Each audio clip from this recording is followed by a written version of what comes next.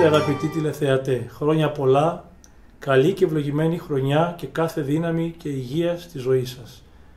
Ο δημιουργός των αιώνων και των καιρών, ο Κύριος της αγάπης και των νικτυρμών, να σας χαρίζει υγεία, ευλογίες, χάρη και δύναμη. Αγαπητοί Κυριακή πρώτων φώτων, πρώτης θεοφανίας του Σωτήρος και Λυτρωτού. Έχει το Ιερό Ευαγγέλιο που εμφανίζει τον πρόδρομο Ιωάννη και εκείρισε λέγον έρχεται ο ισχυρότερός μου πίσω μου, ούκη μη ικανός κύψε λύσε, κύψας λύσε τον ημάνα των υποδημάτων αυτού. Μια μαρτυρία συγκλονιστική που κατήχθη με ευθύνη, βεβαίως αποκαλυπτική που δίνεται με προφητική δύναμη. Μιλάει το ολιγόλογο στόμα του ασκητή, ο χαρισματικός άνθρωπος που αναδείχθηκε μίζων εν γενετής γυναικών όπως καταγράφεται στο προς Λουκάν, κατά Λουκάν Ευαγγέλιο.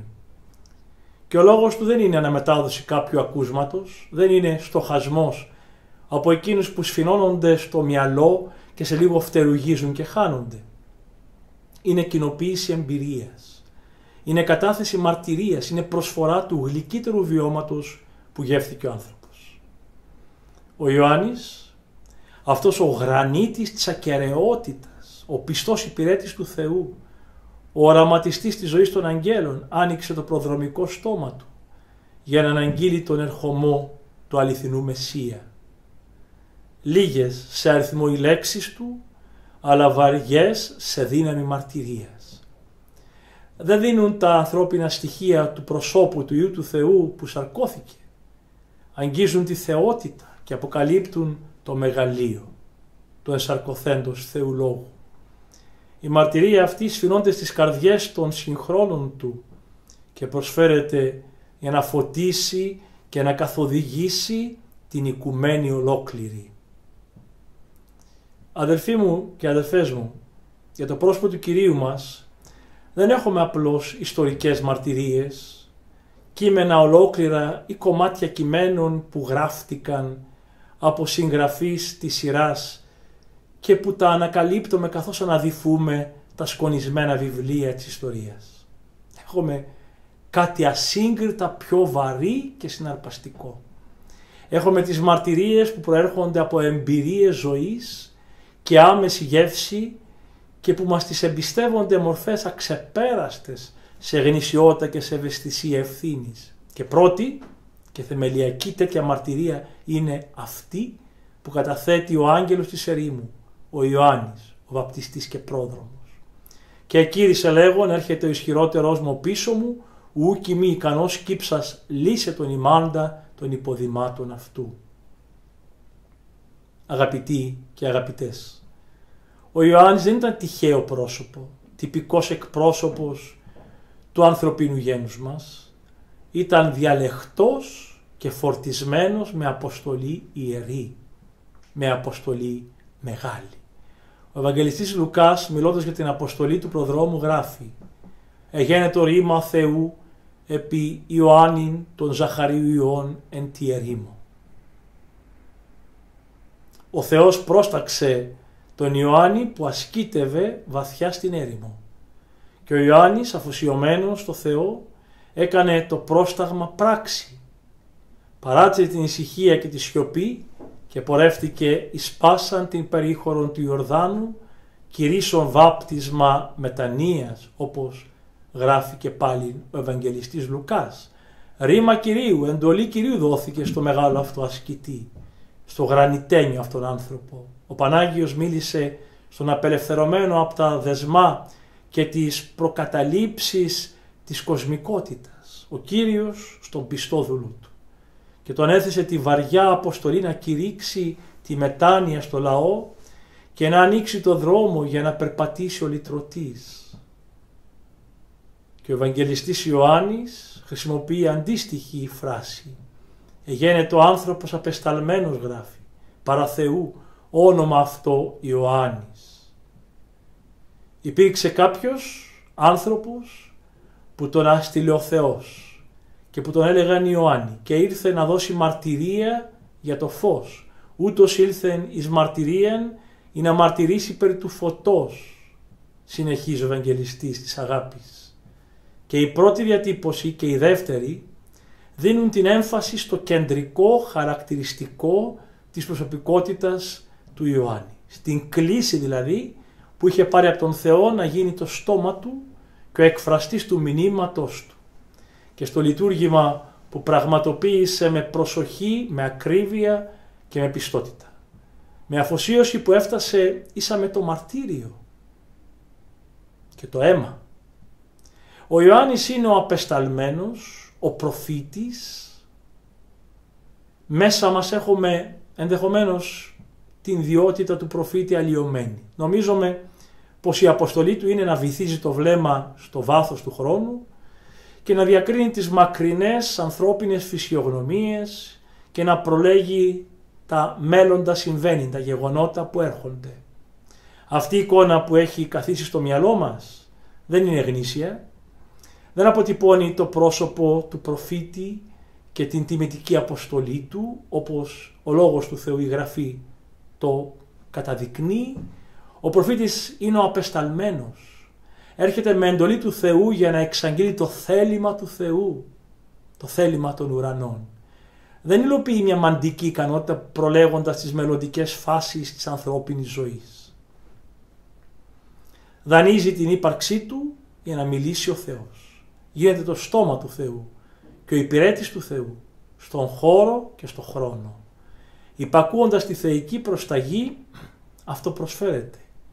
Λέει με εμπιστοσύνη και με διάθεση υποταγής «Ιδού εγώ ημί απόστηλών με» όπως καταγράφεται στο βιβλίο του Ισαΐου. Και πορεύεται για να φανερώσει αυτό που θέλει ο Θεός και να καλέσει το λαό σε μετάνοια και σε λατρεία του αληθινού Θεού. Και ο Ιωάννης σαν ο πιο μεγάλος και ο πιο δυνατός από τους προφήτες, έρχεται να δώσει το μεγαλύτερο μήνυμα, να σημάνει το ορίμασμα των καιρών, να φωνάξει πως έφτασε επιτέλους, έφτασε η μεγάλη ώρα. Να γίνει φωνή βοόντος εν τη ερήμο και να πει «Ετοιμάσατε την οδόν Κυρίου, ευθείας ποιείτε τα στρίβους αυτού». Η ανεπανάληπτη αυτή φυσιογνωμία είχε την αποστολή να γίνει προφήτης και ταυτόχρονα πρόδρομος, να προετοιμάσει την οδόν, να περπατήσεις στη γη μπροστά από τον Κύριο, να μιλήσει για το πρόσωπό του, να ξεσηκώσει το λαό για να τον δεχθεί, να απλώσει την τίμια παλάμη του για να τον βαπτίσει στον Ιορδάνη, να δώσει τη μαρτυρία για τη θεότητά του, να σηκώσει το δάκτυλο και να τον δείξει με σαφήνεια και ενάργεια, αυτή η μαρτυρία του έχει δύναμη, δεν είναι φωνή τυχαία. Δεν είναι σημείωση κάποιου επώνυμου ή ανώνυμου χρονογράφου. Αλλά είναι ζωή. Ο Ιωάννης μιλάει γιατί είναι σταλμένος να μιλήσει. Κηρύττει με δύναμη και σαφήνεια. Γιατί έχει εντολή να κηρύξει. Δάκτυλοδεικτή, το λυτρωτή. Γιατί του αποκαλύφθηκε η θεανδρική φύση του Ιησού Χριστού. Του τελείου Θεού και τελείου ανθρώπου με το πρόσωπο και με το κήρυγμα και με το έργο του Ιωάννη γίνεται αποκάλυψη. Φανέρωση του Θεού στην ανθρωπότητα. Παράδοση του υπερτάτου μυστηρίου που είναι η σάρκωση στο ταλαιπωρημένο ανθρώπινο γένος μας στην φλεγωμένη γη μας. Και εκεί λέγον έρχεται ο ισχυρότερός μου πίσω μου ούκη μη ικανός κύψας λύσε τον ημάντα των υποδημάτων αυτού. Το προφητικό στοιχείο δεν είναι το μόνο που διαφοροποιεί τον Ιωάννη από τη μάζα του λαού. Ο Ιωάννης ήταν και ασκητής, αυστηρός και γνήσιος ασκητής. Νωρίς τραβήχτηκε από τις συμβατικότητες της ανθρώπινης κοινωνίας. Από την επιθυμία της αρκός και την επιθυμία των οφθαλμών και την αλαζονία του βίου. Έφυγε από τον χώρο που τον γέμιζαν και τον έπνιγαν οι ανθρώπινες κακότητες, η πλάνη και το ψέμα και η απάτη. Αγαπητοί τηλεθεατέ, ο Ιωάννης αποσύρθηκε στην έρημο και στη σιωπή, σε περιοχή που δεν είναι έφτανε η μόλυνση και σε ατμόσφαιρα που δεν την χαλούσε η παραφωνία των ανθρωπίνων παθών και η νοθεία του ανθρωπίνου λόγου. Έμεινε μόνος, ζητώντας το Θεό και μιλώντας μαζί Του ως όπως ομιλεί κάποιος προς τον ειδικό του φίλον.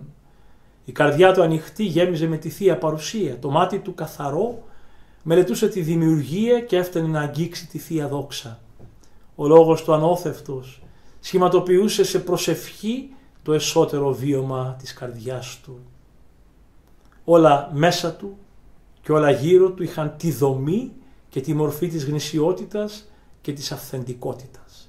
Καμία παραποίηση, καμιά παραφωνία δεν τον μετακινούσε από την αλήθεια του Θεού προς την απάτη του διαβόλου, προς το σκοτάδι και το ψέμα.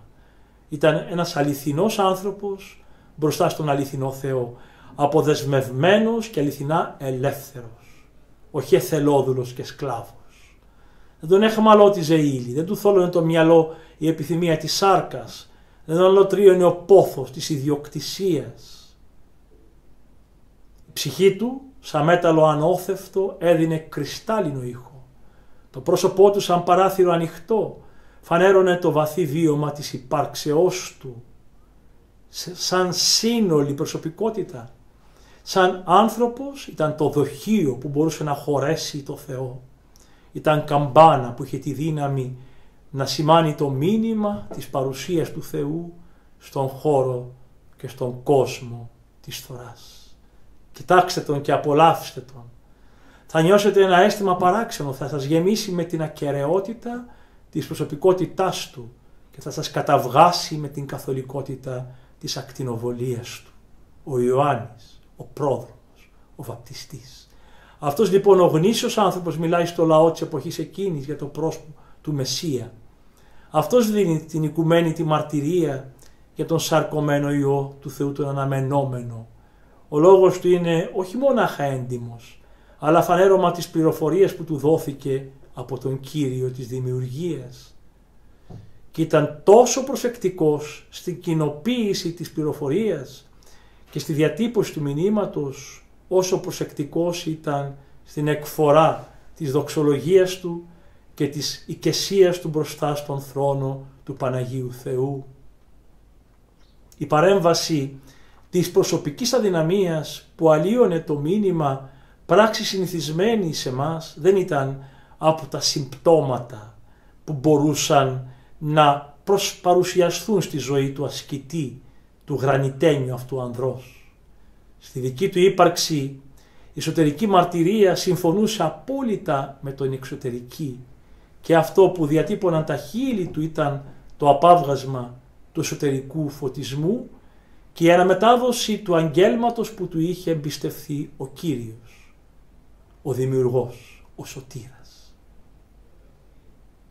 Και εκείρισε λέγον, έρχεται ο ισχυρότερός μου πίσω μου, ούκη μη ικανός κύψας λύσε τον ημάντα των υποδημάτων αυτού. Ανάγκη να προχωρήσουμε τώρα στην ανάλυση και του τρίτου στοιχείου της προσωπικότητας του προδρόμου και βαπτίστου Ιωάννη.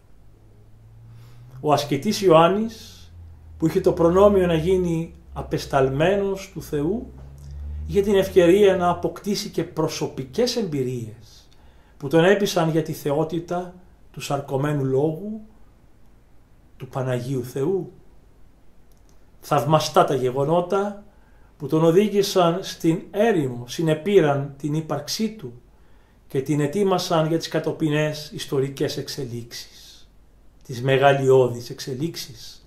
Όμως το κορύφωμα του συγκλονισμού του και ο αληθινός εμπλουτισμός των εμπειριών του πραγματοποιήθηκαν στις όχθες του Ιορδάνη. Εκεί έγινε η συνάντηση, η μεγάλη συνάντηση και εκεί φανερώθηκε η υπερούσια τριάδα, ο Πανάγιος και Πανικτήρμον Θεός. Ο Ιησούς Χριστός παραγίνεται επί τον Ιορδάνην προς τον Ιωάννη του βαπτιστήνε υπ' αυτού, καταγράφει ο Ευαγγελιστής Ματθαίος. Κατάπληκτος ο Ιωάννης δεν τολμάει να σηκώσει το χέρι του και να αγγίξει κορυφή του δεσπότου. Δηλάει και τέβει. Εγώ χρίαν έχω υποσού βαπτιστήνε και εσύ έρχει προς με. Όπως και πάλι αναφέρει ο Ευαγγελιστής Ματθαίος. Ο Ιησούς σταθερά επιμένει. Ζητάει από τον πρόδρομο να ολοκληρώσει το έργο του και εκείνος υποχωρεί. ταπεινώνεται και υποτάσσεται. Με το δέος του αφοσιωμένου και με την αφοσίωση του απεσταλμένου βαπτίζει τον Κύριο στα νερά του ποταμού Ιορδάνη. Τότε όμως γίνεται το θαύμα. Το σημάδι που εγγενίασε τη δημόσια παρουσία του Υιού του Θεού. Το γεγονός που μπήκε βαθιά στην καρδιά του Ιωάννη και την πύρωσε. Ιδού ανεόχθησαν αυτό οι ουρανοί και είδε το πνεύμα του Θεού καταβαίνουν ως υπεριστεράν και ερχόμενον επ' αυτόν και ιδού φωνή εκ των ουρανών λέγουσα ούτως εστί ο Υιός μου αγαπητός ενώ ευδόκησα. Πριν από το βάπτισμα του Κυρίου ο Ιωάννης ήταν διστακτικός. Είχε μια κάποια γνώση βέβαια για το πρόσωπο που τον πλησίασε μα δεν είχε ζήσει τη θεοφάνεια. Όταν όμως έζησε εκείνη τη φανέρωση τότε είδε και γνώρισε και πίστηκε απέκτησε προσωπική γνώση και προσωπική εμπειρία. Από τότε δεν μιλούσε γενικά για το λυτρωτή που έρχεται, τον έδειχνε και έδινε με δυναμικό τρόπο τη μαρτυρία της εμπειρίας του. Ο Ευαγγελιστής Ιωάννης μας διηγείται, εμαρτύρησεν Ιωάννης λέγον, ότι τεθέα με το πνεύμα καταβαίνουν ως περιστεράν εξ ουρανού και έμεινε επ' αυτόν, καγώ ουκίδιν αυτόν, αλλά ο πέμψας με βαπτίζει εν είδατε εκείνος μου είπεν, εφόναν ήδη στο πνεύμα καταβαίνουν και μένουν επ' αυτόν, ούτως εστίν ο βαπτίζων εν πνεύματι Αγίου. Φωνή λοιπόν που πάλεται από συγκίνηση η φωνή του, μεταδίδει τη βαθιά έκστασή του και το θάμπος του, μιλάει από περιουσία προσωπικών βιωμάτων, διηγείται τα περιστατικά που τα παρακολούθησε και που τον γέμισαν, φανερώνει αυτό που του φανερώθηκε, γνωρίζει αυτό που του γνωρίστηκε, από αυτή τη σκοπιά των προσωπικών του εμπειριών μας μιλάει ο Ιωάννης. Και σήμερα για το θεανθρώπινο πρόσωπο και μας γεμίζει με το μήνυμα της ελπίδας και της σωτηρίας. Μας λέει πως ο Χριστός είναι τόσο μεγάλος και ισχυρός που αυτός ο ίδιος δεν είναι ικανός να του προσφέρει την ευτελέστερη εξυπηρέτηση. Ουκ μη ικανός κύψας λύσε τον ημάντα των υποδημάτων αυτού. Αυτός είναι ο σαρκωμένος λόγος του Θεού. Και εγώ σαν άνθρωπος ακόμη και σαν προφήτης και σαν ασκητής και σαν βαπτιστής δεν είμαι άξιος να σκύψω να του λύσω το σκηνή από το υπόδημά του. Αυτή είναι η μαρτυρία του Ιωάννη που προσφέρεται να μας ποτίσει και να μας φωτίσει, που έρχεται να μας ανοίξει τον ορίζοντα και να μας σκιαγραφίσει το πρόσωπο του λυτρωτή μας και σωτήρος μας Ιησού Χριστού. Αγαπητοί και αγαπητές, διαβάστε όσα βιβλία θέλετε. Δεν θα αποκτήσετε ποτέ με το διάβασμα την εμπειρία του προσώπου του Ιησού Χριστού. Αναδυθήστε με επιμέλεια τις ιστορικές πηγές. Δεν θα νιώσετε ποτέ το ρίγος των συγκινήσεων που ένιωσε ο πρόδρομος και όλοι εκείνοι που δέχθηκαν με ανοιχτή καρδιά τη μαρτυρία του προδρόμου και βαπτιστού Ιωάννου. Αν θελήσουμε να πλησιάσουμε άμεσα και προσωπικά τον Κύριο, πρέπει να δεχθούμε τη μαρτυρία του ασκητή με άδολη διάθεση και να τη βάλουμε βαθιά μέσα μας μες στην καρδιά μας. Η μαρτυρία του προδρόμου και βαπτιστού Ιωάννου έχει δύναμη γιατί πηγάζει από την εμπειρία του και η εμπειρία του είναι γνήσια γιατί γεννήθηκε μέσα στην ολοκάθαρη καρδιά του ασκητή ύστερα από αποκάλυψη του αιωνίου Θεού και από γεγονότα που πραγματοποίησε εκείνος. Και τα γεγονότα αυτά ξετυλίχθηκαν μπροστά στα μάτια του γιατί ήταν ο απεσταλμένος, ο προφήτης με την αποστολή και την ευθύνη να προετοιμάσει την οδόν Κυρίου, να προετοιμάσει τον δρόμο του Θεού. Πλησιάζοντας τον Ιωάννη ξεπερνάμε τις ιστορικές πηγές και φτάνουμε στην πηγή με κεφαλαίο πι, σε εκείνον που έζησε άμεσα και μίλησε ειλικρινά. Σήμερα στη ζωή μας ο λόγος του Ευαγγελιστού Μάρκου που μας λέει αρχή του Ευαγγελίου Ιησού Χριστού Ιού του Θεού εγένετο ο Ιωάννης είναι το προανάκρουσμα στα γεγονότα της ετορίας και είναι η αρχή του μηνύματος του Χριστού. Είναι η μαρτυρία του ασκητή που μας εμπνέει και μας οδηγεί. Ας βάλουμε το αυτί μας και την καρδιά μας να ακούσουμε αυτό το ζωντανό παλμό, αυτό το χτύπο της προδρομικής καρδιάς που ακούγεται πλάι μας. Για να ζήσουμε πιο καθαρά, πιο άμεσα, πιο έντονα τις εμπειρίες Του και να γνωρίσουμε από πρώτη πηγή το πρόσωπο του Θεανθρώπου Κυρίου μας, του Σωτήρος και Λυτρωτού μας. Θα έπρεπε να σας πω ότι αυτός ο άνδρας των 30 μόλις ετών που σήκωσε το χέρι και μας έδειξε τον σαρκωμένο Θεό Λόγο επεσφράγισε την τιμιότητα, τη γνησιότητα και αυθεντικότητα της ζωής του με το αίμα του, με το μαρτύριό του. Γιατί δεν έμεινε σε θεωρίες, αλλά σε πράξεις. Η ζωή του έγινε παρανάλωμα της αγάπης του για την αλήθεια. Στάθηκε θαρετά μπροστά στον ηγεμόνα της εποχής του. Σήκωσε το ασκητικό του χέρι, το γυμνό αλλά τόσο βαθιά ουσιαστικό αυτό χέρι και του είπε «Ουκ ξεστήσει έχει τη γυναίκα του αδελφού σου». Στηλίτευσε τη μοιχεία και την αιμομιξία τα πάθη τα γεώδη με τα οποία συμπορευόταν ο ηγεμόνας εποχής του, ο Ηρώδης Αντίπας. Και το αποτέλεσμα ήταν να τον οδηγήσουν στις φυλακές και να ζητήσει η Μιχαλίδα η Ροδιάδα την κεφαλήν του επιπίνακι και να πεμφθεί σπεκουλάτορας στα μπουντρούμια της φυλακής του μαχαιρούντος για να κόψει την κεφαλή Ιωάννου Βαπτιστού, να προβεί σε αυτό το ανίποτο έγκλημα για να κλείσει το στόμα της αλήθειας.